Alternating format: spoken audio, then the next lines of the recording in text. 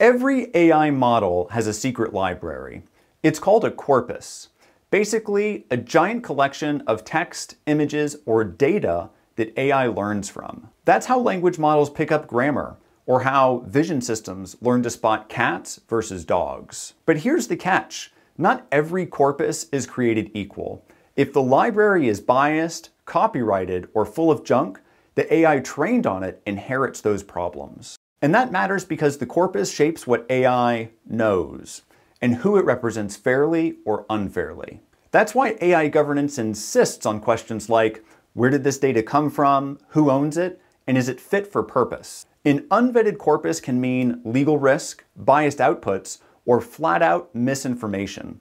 A well-governed corpus means trustworthy AI. Bottom line, if AI is only as good as the data it learns from, then the corpus is the foundation, and governance decides if that foundation is solid. If you want to learn more about AI governance, follow me. Right now I'm covering all 101 of the AI governance professional key terms.